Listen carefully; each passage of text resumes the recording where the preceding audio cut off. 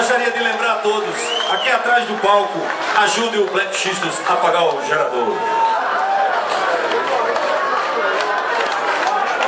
Obrigado, Chico.